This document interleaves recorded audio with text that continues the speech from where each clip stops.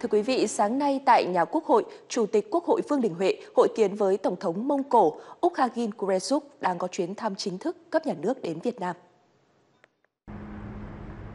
Tại cuộc hội kiến, Chủ tịch Quốc hội Vương Đình Huệ chào mừng Tổng thống Ukhagin Kuresuk và đoàn đại biểu cấp cao Mông Cổ thăm cấp nhà nước Việt Nam, đánh giá cao việc Tổng thống đã chọn Việt Nam là nước thăm song phương đầu tiên trong khu vực Đông Nam Á sau khi được bầu làm Tổng thống Mông Cổ. Chủ tịch Quốc hội chúc mừng kết quả hội đàm tốt đẹp giữa Chủ tịch nước Võ Văn Thưởng và Tổng thống cũng như các văn kiện đã được ký kết, tạo khung khổ pháp lý thúc đẩy hợp tác hai nước lên tầm cao mới. Chủ tịch Quốc hội đánh giá cao Mông Cổ luôn coi Việt Nam là đối tác quan trọng hàng đầu tại khu vực Đông Nam Á,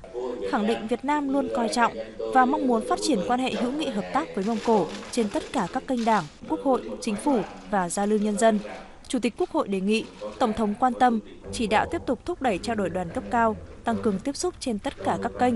hợp tác chặt chẽ, triển khai các hoạt động kỷ niệm 70 năm thiết lập quan hệ ngoại giao vào năm 2024, đẩy mạnh hợp tác thực chất, hiệu quả, toàn diện trên các lĩnh vực kinh tế, thương mại và đầu tư, giáo dục và đào tạo.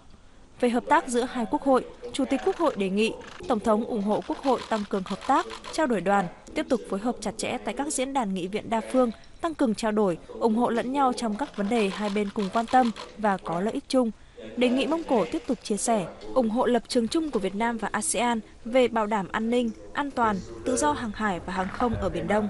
Mong muốn hai nước tiếp tục ủng hộ lẫn nhau tại các diễn đàn, cơ chế, tổ chức hợp tác khu vực và quốc tế. Nhân dịp này, Chủ tịch Quốc hội gửi lời mời Chủ tịch Quốc hội Mông Cổ sớm sang thăm Việt Nam.